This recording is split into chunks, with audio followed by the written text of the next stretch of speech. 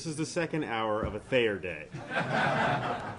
so, you know, you cannot embody your inner cadet as you do this. You're going to have to give more than that. You're graduates now. All right? So we're going to try that one again. We need a little more oomph. Good morning. Good morning. All right, here we go. Fired up. Airborne. My name is Colonel Bernie Banks, and I'm the Department Head of Behavioral Sciences and Leadership here at the United States Military Academy. I'm also a proud graduate of the class of 1987. And this morning, it's our great privilege to involve you in something that we do with cadets as part of their leader development. Music. Not the thing we'd always think about when thinking in the realm of leader development, but it plays a very powerful role and serves as a metaphor for the challenges that our graduates will face. And so today, with the help of the remarkable United States Military Academy Band, each one of you is going to get the opportunity to participate in something that cadets do as part of their current cadet experience. Joining me today are Colonel Tom Donovan, Director of the William E. Simon Center for the Professional Military Ethic, West Point Class of 1986, Colonel Tony Burgess, Director of the Center for the Advancement of Leader Development and Organizational Learning here at West Point, also known as CALDOL, West Point Class of 1990. Obviously, the remarkable members of the United States Military Academy Band and their commander, Lieutenant Colonel Jim Keene. So at this time, it is our great privilege to include you in an exercise we call the Core of the Corps.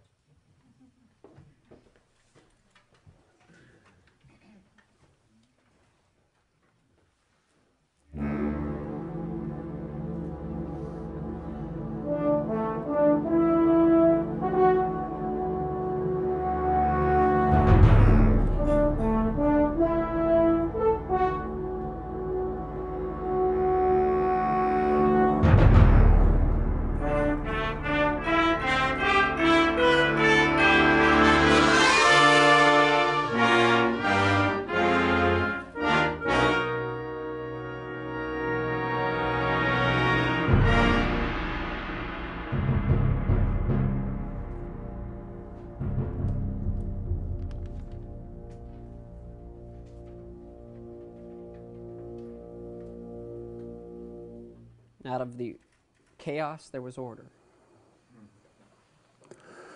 Duty. Honor. Country.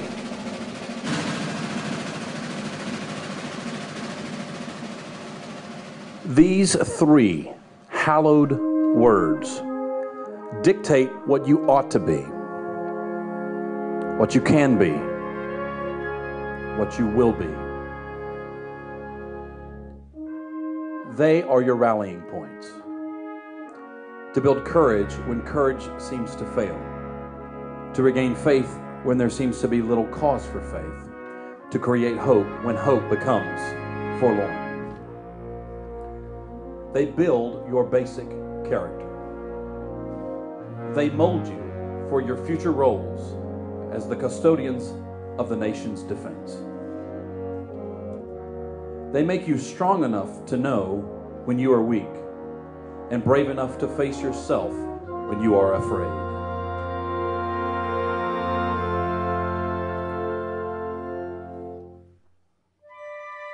They teach you to be proud and unbending in honest failure, but humble and gentle in success. To be modest so that you will remember the simplicity of true greatness, the open mind of true wisdom, the meekness of true strength.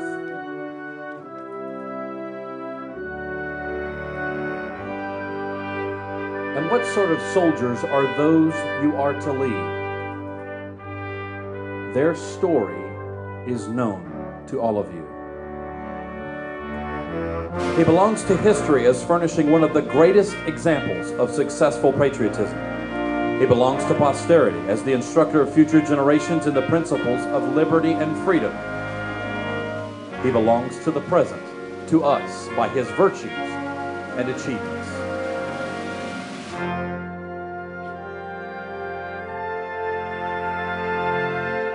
Yours is the profession of arms, the will to win, the sure knowledge that in war there is no substitute for victory.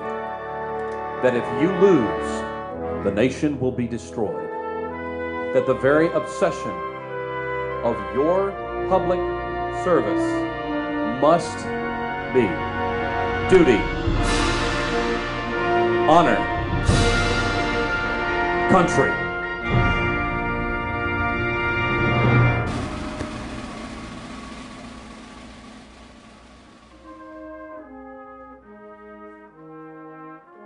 Today marks my final roll call with you.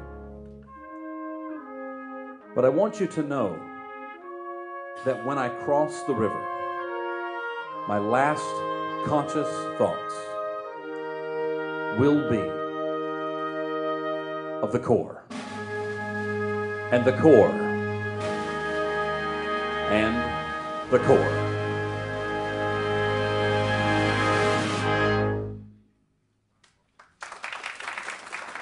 Welcome to the United States Army greatest and oldest band here. Built in 1802, formed. This is the United States Military Academy Band.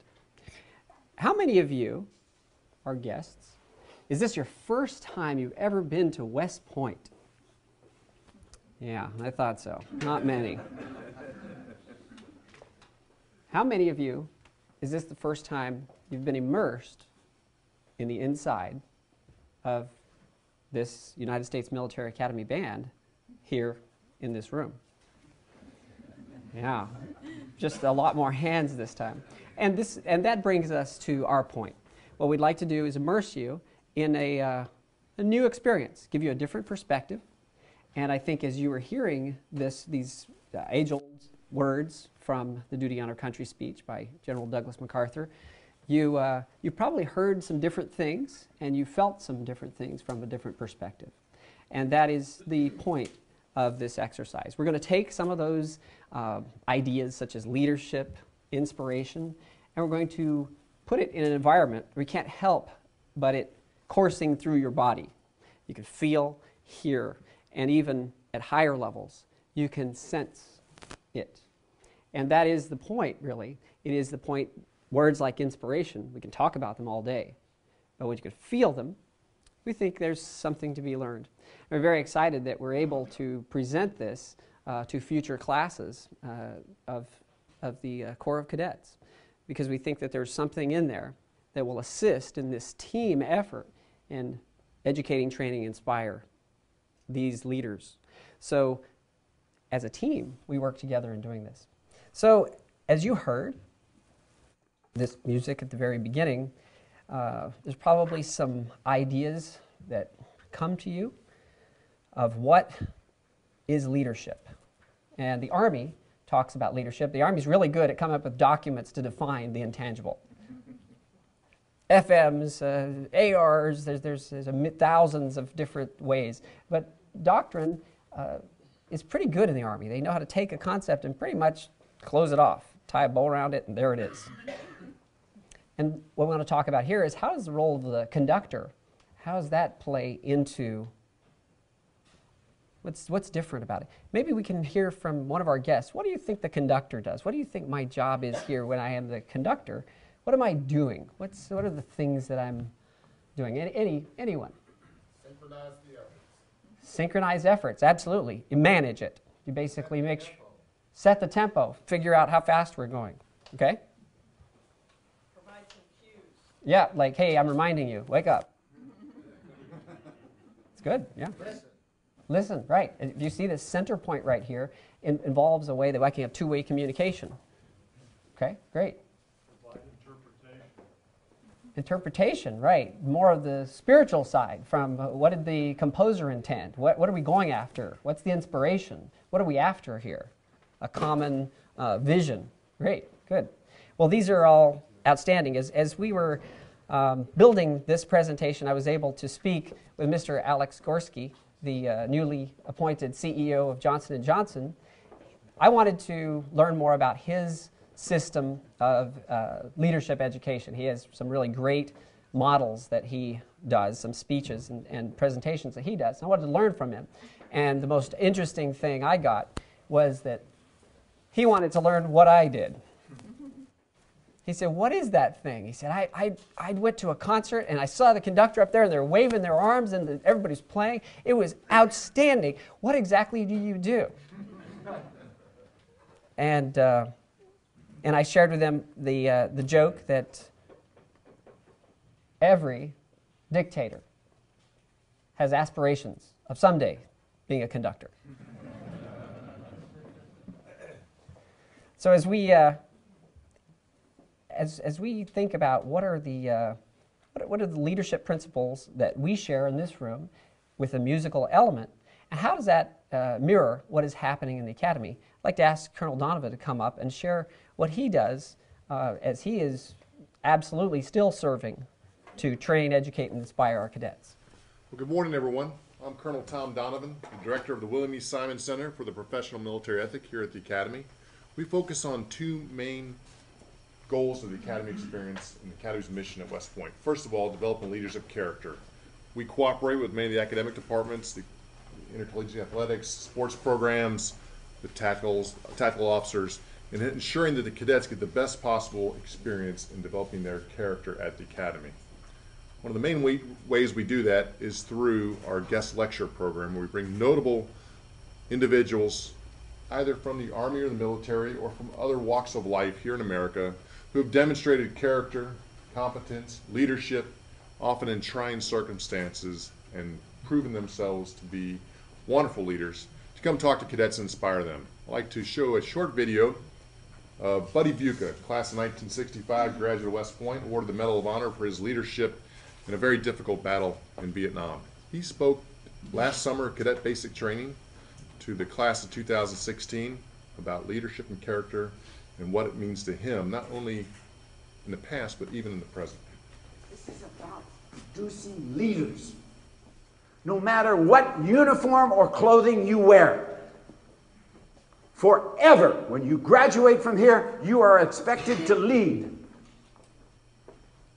not only your company, as in military, your company as in civilian, your community, your family. They will look to you for leadership if you learn about leadership and accept a way of life of honor. A second major goal that we focus on in our programs in the Simon Center is the cadets' understanding of the professional military ethic. What does it mean to be a military officer in today's world and in what we project to be the future world? And what are the requirements to successfully lead people? Duty, honor, country, Academy's motto, of course, is a big part of that, but also competence, character, leadership, willingness to understand the environment out there and to lead soldiers. As part of that, we also bring in guest lecturers.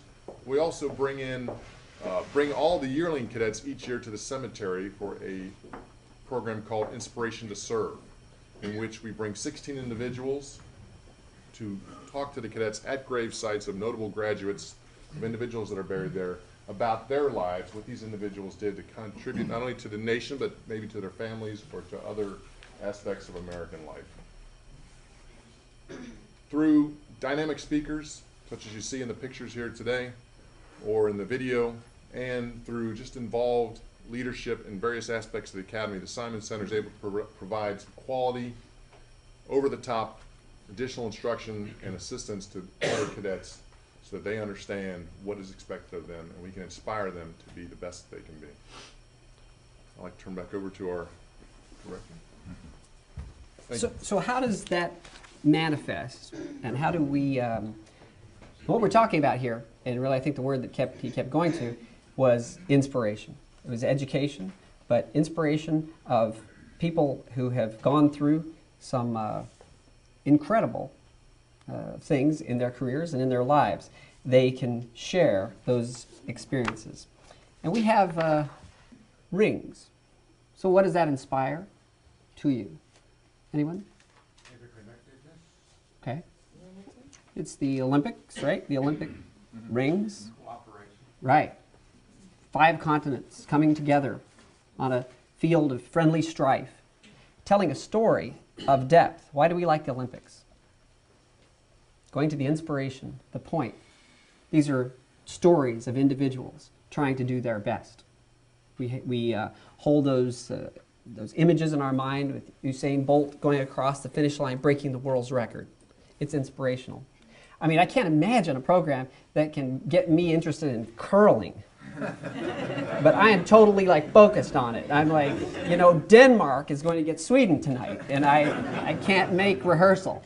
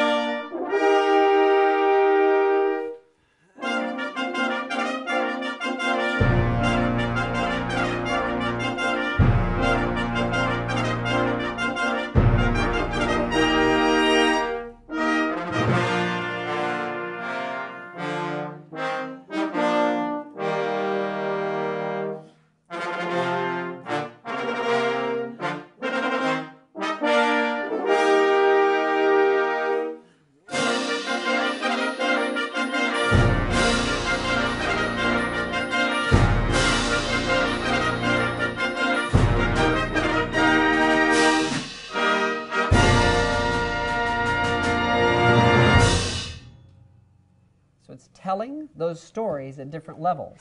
Not only the person that built the bobsled, but the countries and where the nation uh, that's hosting the games, why that happened, and who's investing in it, and the stories of the unlikely winner.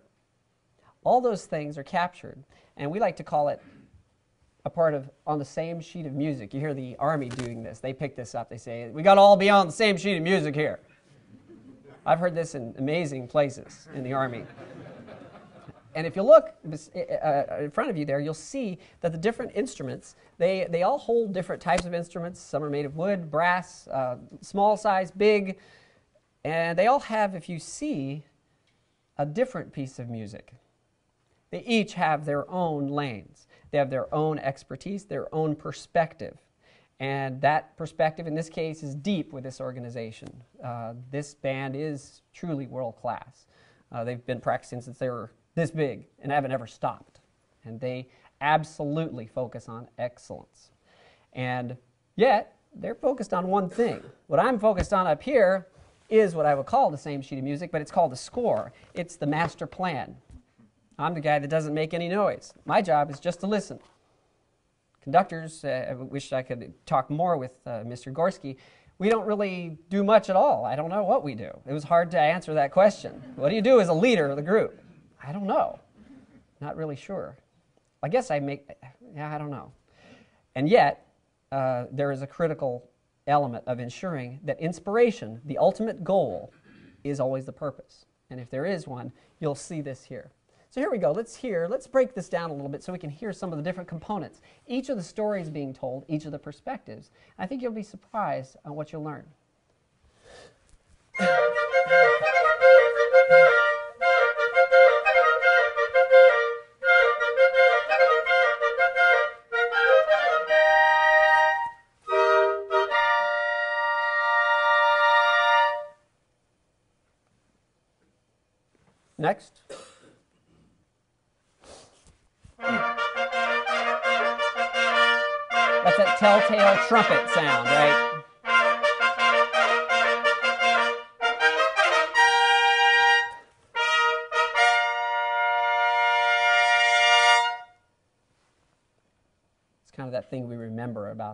Fanfare and theme. That's the theme right there. There it is. Is that fanfare that we, when we turn on the TV, we get all excited and ready to watch curling. Next. Now, this is kind of a different story over here.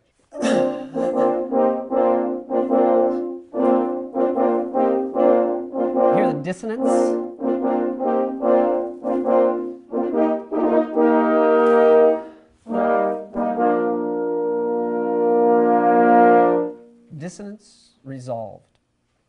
Okay, next.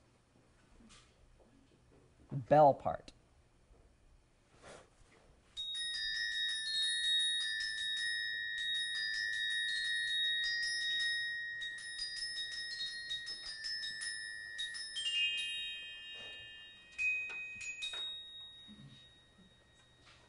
A very simple story. Hard to execute. Anyone want to try that out? Anyone want to take? Huh? No takers? Okay, next. And you'll see why the joke goes that uh, don't look at the brass because it only encourages them.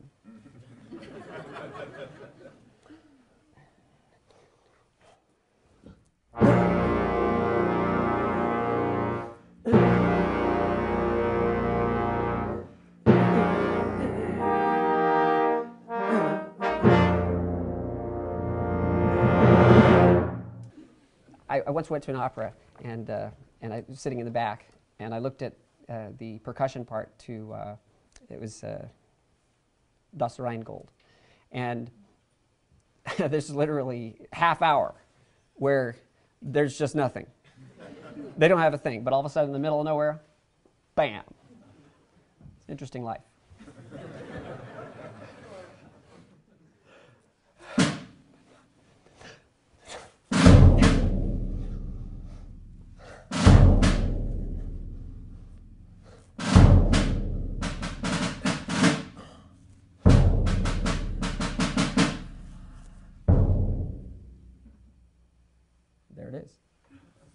Next.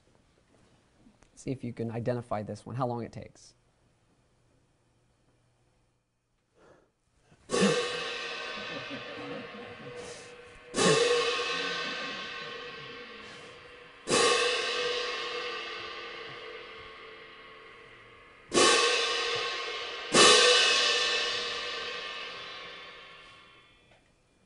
There's a story there.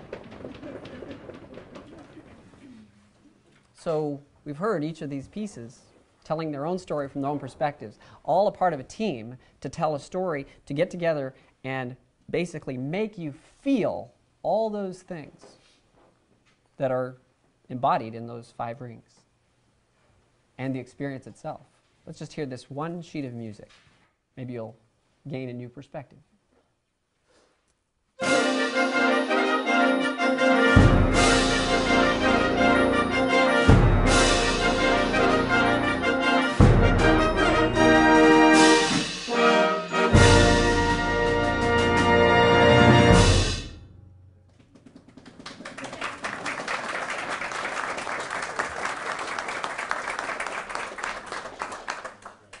Who, who heard some different things? What did you hear from your different perspectives? Anything particularly strike you? Not yet? Well, good. I can see we don't have quite enough involvement yet.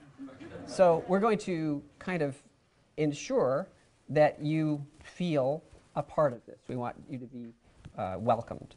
And how we'll do that is I want you to get up and change to a different seat.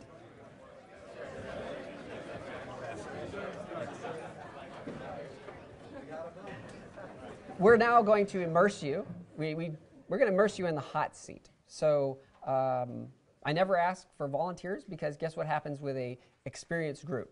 No one volunteers. You've already done that in different ways, and you've learned how that works. But I'm going to ask you to come up and help us, sir, right now. And he is going to be immersed in the hot seat. He is now going to be our conductor. Yeah, because I, I, I have a gig and I'll be back in a while. As long as it's Led Zeppelin, we're fine. And so what, what we have, the scenario here is you have a piece of music in front of you that has two notes. And It's actually two chords, and those each of uh, our musicians has in front of them. You can see here. Take a look and see what they have in front of them. Uh, they have two notes that they play. Yeah. So this one and this one. They're just two notes. Normally, there's a lot of information that is given on this sheet of music, telling you how short, how loud, uh, everything. But in this case, there, there's just notes. There's not even a time signature. So Two notes. there it is. So uh, let's see what you do. You want to do a dry run? Sure. Would you, what, what would you like? Two notes. Okay. Here are the two chords that, that they'll play. The first chord sounds like this.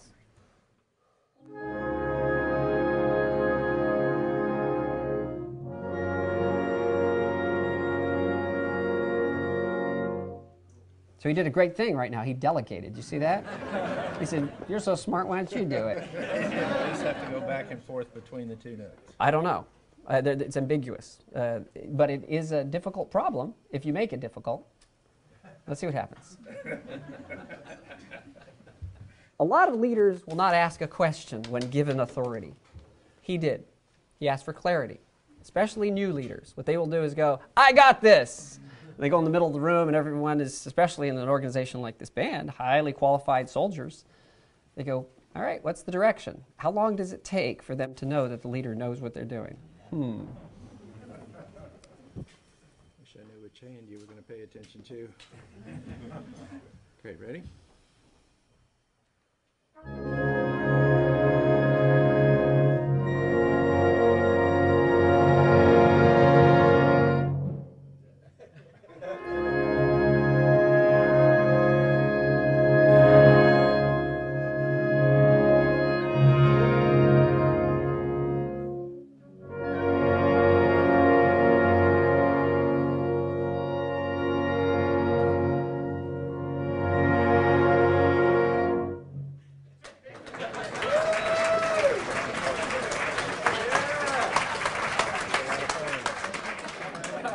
You can see why every dictator aspires to be a conductor, right?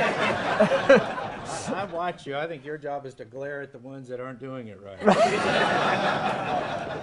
so what, what was your experience? Help, help give us a little, what were you thinking? What were the things that went through your mind? And- I was thinking about how to get them to repeat a note. Right. Like bum, bum, Yeah. bum. Right. But I didn't know how to communicate that. What, what I experienced was everybody looking at me saying, what, what are you trying to communicate?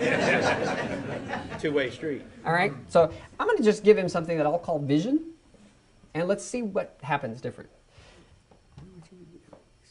Start really soft with the first chord, make it really big with the second chord, like a sunrise, and at the end of the big chord, second chord, come down like a sunrise and a sunset. Okay. And Just think about that. All right, so he's got the vision, he's got the plan.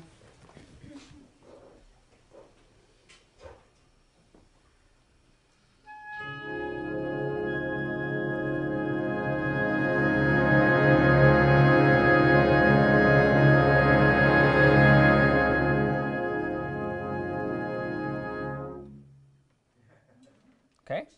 So what I talked to him about was I said, how about a sunrise and a sunset? And and you heard it, right? If you, if you knew what it was, then that's it was kind of happening. So what did what let's let's hear around the room.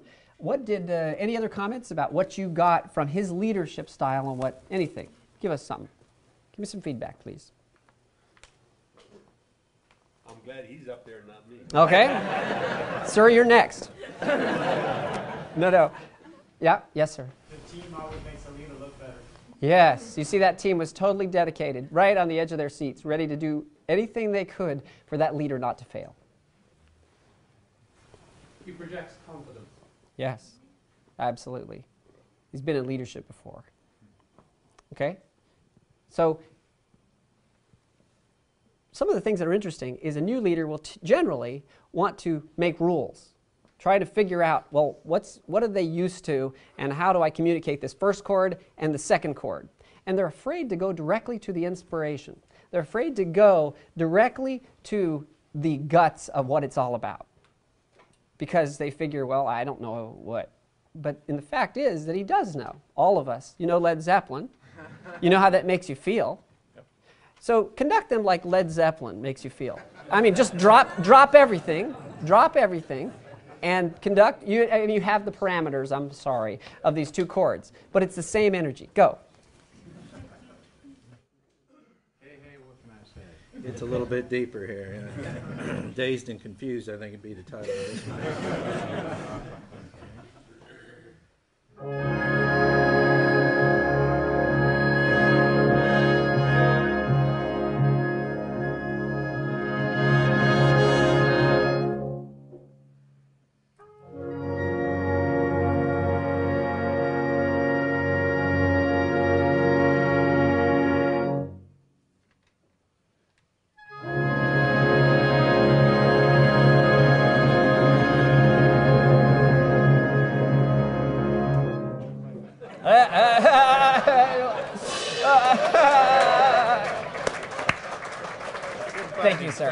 you, sir. Thank you, so much. Thanks. So that's definitely the hot seat. Colonel Burgess, and his team knows quite a bit about this subject. If you weren't already fired up to be here, I mean, that, that was just awesome. And I think you established just a real connection with the group. You know, there was some, it, it resonated with them, something about you, your, your aura, that I think connected well. And even if they didn't know exactly what you were trying to get them to do, they really wanted to. It had to be a collaborative effort. I didn't know what it was. very cool. But you're lucky. His strength would be he wanted to negotiate each of their contracts with them, but. That could undermine trust later. For now, you're good. Good morning. My name is Colonel Tony Burgess, and 13 years ago, coming out of company command in the 25th Infantry Division, I was assigned to West Point to be a tactical officer. And during that year-long master's degree program, embedded in BS&L, a group of us, class of 90 and 91 guys, came together and created CompanyCommand.com. This is an online community to connect company commanders across the Army. West Point, with leadership and support from some of you in the room today, thank you, established a Center for the Advancement of Leader Development and Organizational Learning to support this work, to be a catalyst for that peer to peer leader development and learning, both for Army leaders as well as for cadets, who through the forums, for the first time, gain access to this vibrant, ongoing conversation about the profession that they're preparing to enter. So, pretty cool. One of a number of exciting innovations that has emerged in our work is the Leader Challenge Project. We believe that you learn to lead most when you're put into tough, challenging experiences where you're out of your comfort zone, not unlike what you experience being thrust into this hot seat conducting the music. On video, we asked leaders around the Army to describe a hard hitting, dilemma type of a challenging experience that they've had. We use storytelling as the vehicle to bring cadets into those tough situations, both in a cutting edge online environment as well as in a dynamic, high energy, face to face engagement. Let me give you an example a leader challenge. Imagine you're in Afghanistan. Your name is Lieutenant Clark. You're an infantry company executive officer. Today, you're leading the patrol. Your company commander is back on the outpost. You're in command, the acting commander on the mission. Things go well. Till late in the day, as you're moving back towards the outpost, you're egressing past a village. As you do, you come under heavy fire. The bullets are flying, RPGs are exploding around you. Your heart is racing. Your first sergeant begins to take charge.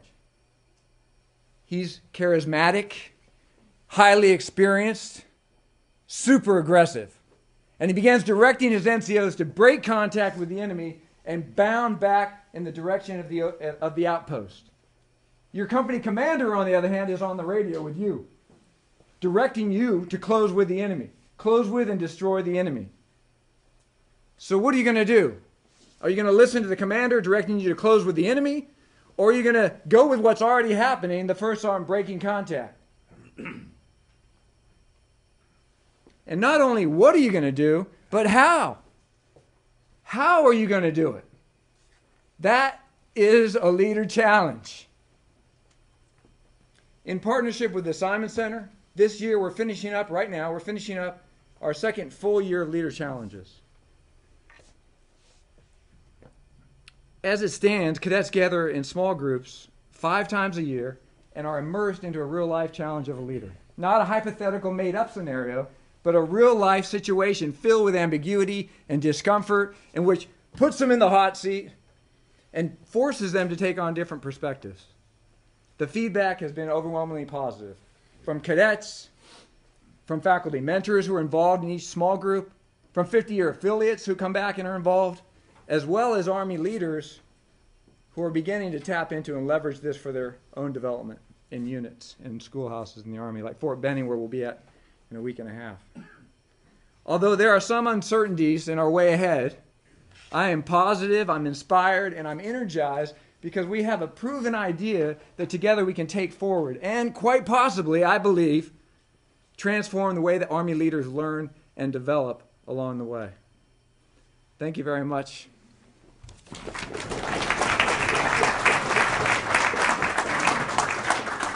That's like church. That makes me want to play you all a song. Shall we?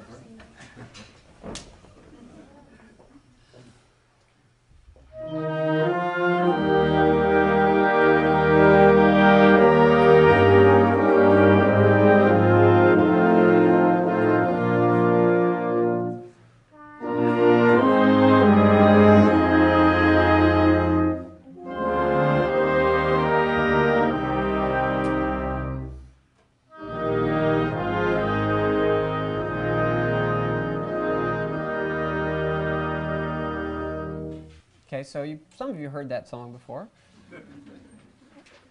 Mean anything? Have any meaning for you? Army's one of the Army's oldest songs, West Point's oldest song, played by the Army's oldest band right here that you're in the middle of.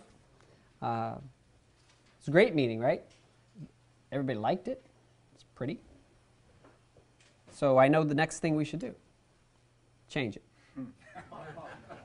That's what we do, right? Especially in the Army. We are either changing or reacting to the change we just made. but why do we do that? Why do we adjust the product? Why do we, uh, why, what's the need for innovation? Maintain relevance. What does that mean? Means everything, change is constant, and uh, you have to adjust to that continuously. Yep. And maintain relevancy to your audience, to your command, to your soldier, your orchestra. But there's a dilemma in innovation where we want to, obviously, what she's saying is dead on. But there's, a, there's some things we want to preserve, isn't it? Want to preserve a military uh, feel, maybe? Let's turn it into a march then. That's what the Army would do to it, right?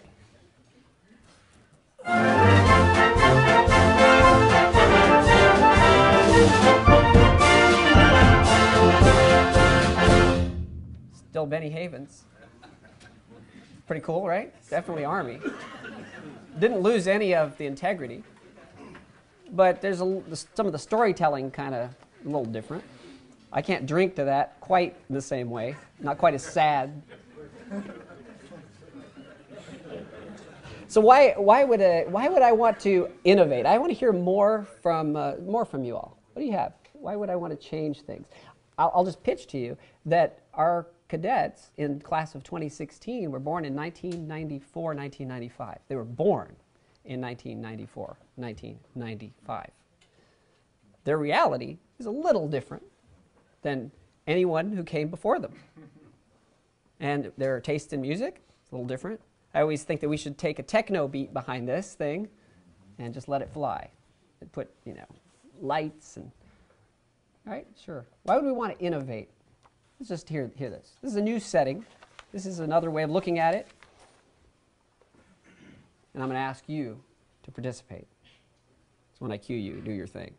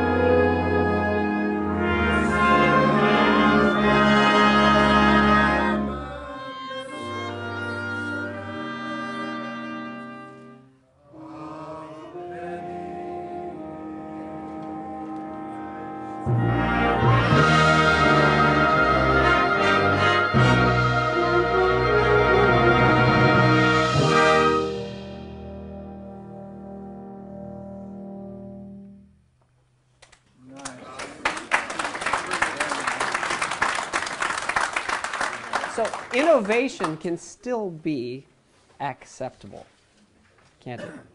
So um, a graduate of West Point, Mr. Joe DePinto, had the guts to change his perspective to find out what made his company tick. He was trying to figure out why this one store, he went an undercover boss, the TV show. Yeah, he messed up, you know, you'll see it's pretty wild. And he learned something. He was trying to figure out why this one place sold so much coffee. Had, had to put a This one could be changed. Gotta take the other one out first. And here he is, right? Hey, where you been? Oops. Danny? Okay, I need French vanilla regular. Where is he? Taking care of the coffee business at the store is really challenging. The pace of it, you know, there's a lot of interaction with customers. You got to keep the coffee right. It's a lot of work. Whoa, what's going on here? How did that happen? Oh my.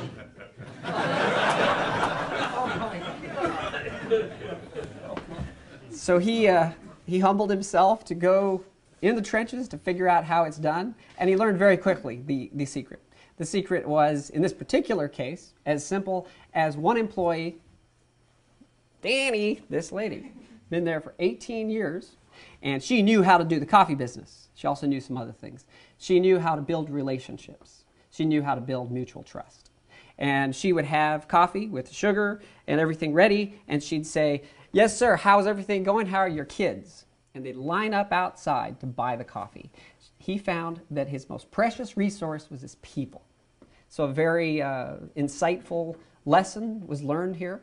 And we talked about it just a little bit, and he was able to say, yeah, it was kind of mind blowing. We, we had committees uh, trying to redesign coffee cups, we had people uh, trying to figure out what the blend was right. And it wasn't about that. That's not what sold the coffee. So, uh, there's a lot of lessons to be, to be learned, uh, none that I'm qualified to teach, but hopefully you all have enjoyed yourself today, and we thank you very much. I'm going to turn to uh, my teammate here, Colonel Banks, if you could give us some closing remarks, sir. So, who here loves music? All right, wow, this is the most enthusiastic response we've gotten yet. Normally, groups sit there and do just like cadets, just kind of this much. Don't really want to put yourself out there, but at the same time, want to show that you're somewhat engaged. So, here we have a lot of hands. All right, so I think I saw every hand. And I know we have members of the Glee Club that are in here. So, one would have to believe that you love music. Now, I remember your face from last night. You're a handsome man. So, why do you love music? It inspires me. It gives me uh, a feeling of euphoria. Much like drugs. they don't have to be illegal. A lot cheaper. Absolutely. We're all at that age. So, a sense of euphoria. What else? What is it about music that draws you to it? Well, the camaraderie, the uh, the feeling of being part of an organization that uh, that that makes you feel good. So it can galvanize your commitment to working in concert with others. Absolutely. Other thoughts? Expression non-verbally.